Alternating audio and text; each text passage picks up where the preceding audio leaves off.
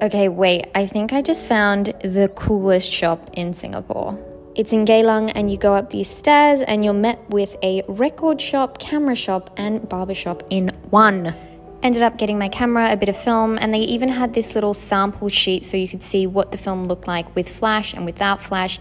Made the decision so much easier.